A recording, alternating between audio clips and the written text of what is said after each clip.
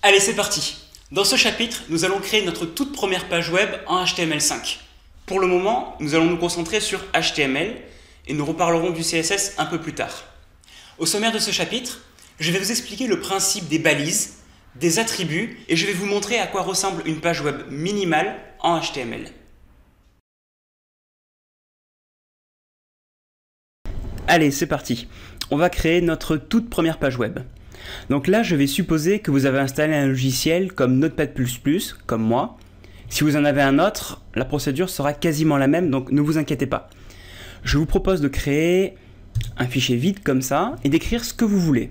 Par exemple, salut, comment ça va? Voilà, j'ai écrit ça. Je vais maintenant enregistrer mon fichier je vais le mettre dans un dossier site web, par exemple ici, et je vais appeler mon fichier test.html. L'extension .html est extrêmement importante, c'est elle qui indique à l'ordinateur qu'on veut créer une page web. Je clique sur enregistrer, voilà, c'est fait. Et ensuite, je vais ouvrir mon explorateur dans le dossier site web et je vais retrouver mon fichier test.html que je viens de créer. Je double-clique dessus pour l'ouvrir. Et voilà, mon navigateur s'affiche et indique Salut, comment ça va? C'est-à-dire le texte que j'ai écrit dans ma page. Alors maintenant, si vous êtes un petit peu perspicace, vous devez vous rendre compte que c'est écrit ici sur une seule ligne, alors que dans mon fichier, je l'avais écrit sur deux lignes. Pourquoi? Eh bien en fait parce qu'on n'a pas créé une vraie page web ici. On s'est simplement amusé à écrire un tout petit peu de texte. Dans les vraies pages web, il y a en plus ce qu'on appelle des balises. Les balises, qu'est-ce que c'est? Eh bien c'est justement ce qu'on va découvrir dans la prochaine vidéo.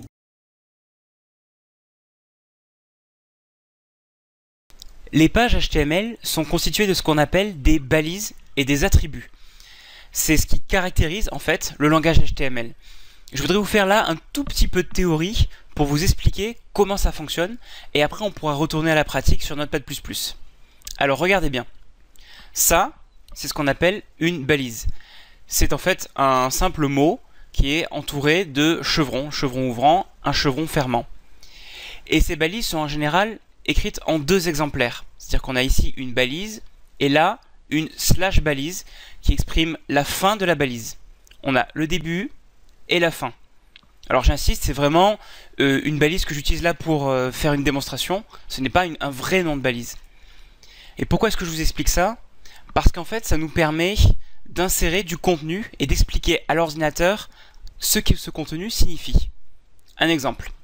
On peut imaginer une balise titre. Elle a un début et une fin titre slash titre. Et si on écrit du texte au milieu, ça signifie pour l'ordinateur que ce qui est au milieu est un titre. Voilà, donc si on écrit par exemple le titre, l'ordinateur comprend, ok, donc ceci est un titre. Et ça c'est vraiment une notion très importante du langage HTML. Et il faut savoir qu'il existe aussi d'autres types de balises qui n'existent pas en deux exemplaires mais en un seul exemplaire, ce qu'on appelle les balises orphelines. Ici par exemple vous avez un exemple de balise orpheline, une balise image c'est typiquement le genre de balise qu'on n'a pas besoin d'écrire en deux exemplaires. Ça signifie juste, on veut insérer une image ici. Donc on dit image slash, ce qui signifie insère une image ici. Voilà, ça c'était le deuxième type de balise. Et en plus de ça, on peut rajouter des éléments qu'on appelle les attributs. Alors prenons un exemple. Imaginons une citation. On aurait une balise citation et une balise de fin de citation, le slash citation, et là au milieu on a le texte d'une citation. Et ce serait quand même pas mal de savoir qui est l'auteur de cette citation. Et c'est justement ce à quoi peuvent servir les attributs. C'est-à-dire que ce code, on pourrait aussi l'écrire comme ceci. Citation, auteur égale Balzac. Et du coup, l'ordinateur comprend et dit Ah oui, donc ça c'est une citation dont l'auteur est Balzac. Et on peut rajouter autant d'attributs qu'on veut en fait dans une balise. Alors là j'en ai mis un seul, mais on pourrait aussi rajouter euh, espace, livre égale le nom du livre, date égale la date du livre, etc. Ces attributs, on peut aussi les rajouter sur les balises orphelines. Vous vous souvenez la balise image que je vous ai montré à l'instant? Toute seule, elle sert pas à grand chose, puisqu'on dit on veut mettre une image, oui mais laquelle?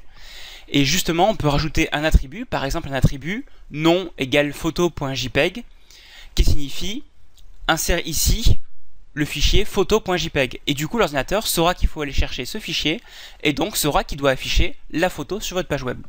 Voilà, c'est vraiment les principes de base que vous avez besoin de comprendre pour réaliser des pages web en HTML. Allez, on va retourner à Notepad++ maintenant.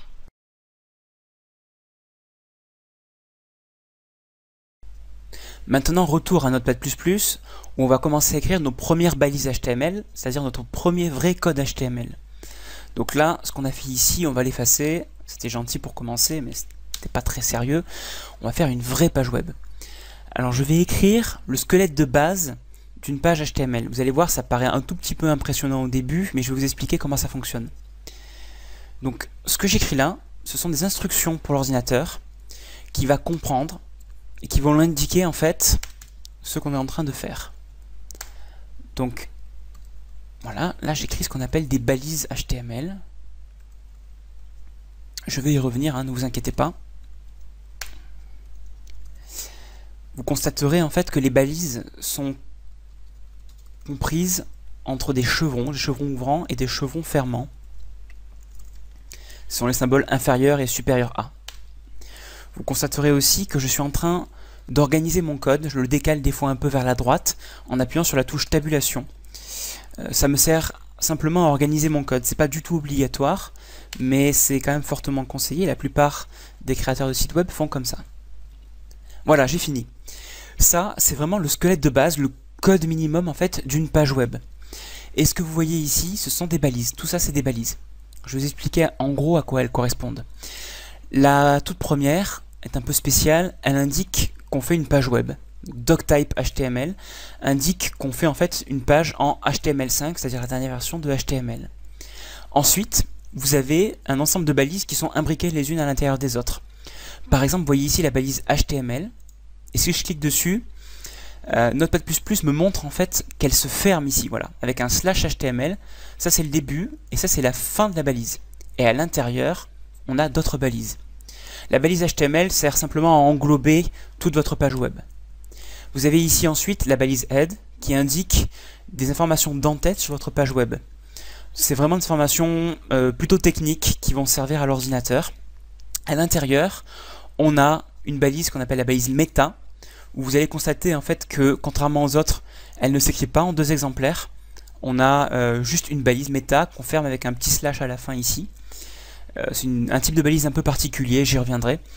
Elle indique que on va écrire des caractères spéciaux dans nos pages web, parce que par exemple, nous on va écrire en français, et les accents, si on ne lui indique pas clairement, l'ordinateur ne comprendra pas. Les accents aigus, ce genre de choses.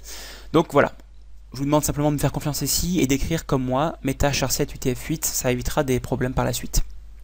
Ensuite, on a une balise très importante, la balise title, qui indique le titre de votre page web. Ce titre est en général affiché euh, au niveau des onglets de votre navigateur web et aussi dans les résultats des recherches Google. Donc c'est vraiment très important de bien le choisir. Là j'ai fait tout simplement un titre qui s'appelle mon titre. Ensuite la balise head se ferme, c'est vraiment la fin de l'entête.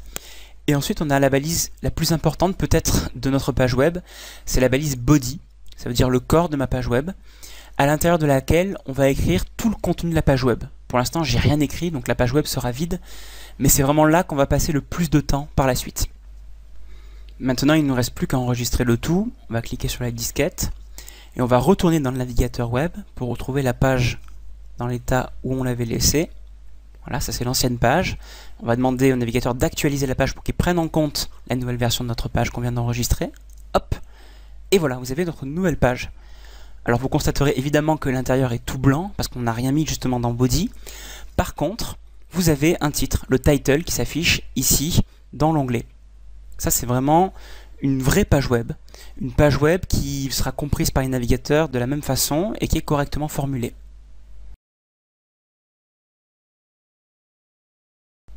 Ce que je vous propose ici, c'est découvrir une dernière petite chose avant de terminer ce chapitre. Ce sont les commentaires. On retourne dans Notepad++ et on va écrire un type de balise un petit peu particulier. Euh, par exemple ici dans Body, mais on peut l'écrire où on veut, qui commence comme ça. Un chevron, un point d'exclamation, deux tirets, c'est un peu compliqué. Et après vous pouvez écrire ce que vous voulez, par exemple ceci est un commentaire. Et ensuite vous fermez par deux tirets et un chevron.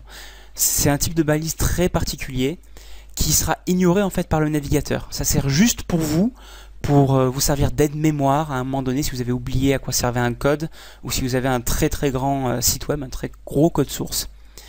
Alors vous allez voir, si on enregistre et qu'on retourne dans Google Chrome ici, j'actualise, il y a strictement aucun changement parce que justement le commentaire ne s'affiche pas, mais il est très pratique euh, pour euh, voilà, servir d'aide-mémoire.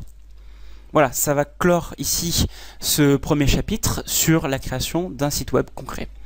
Dans le prochain chapitre, on va découvrir de nouvelles balises qu'on va insérer à l'intérieur de Body.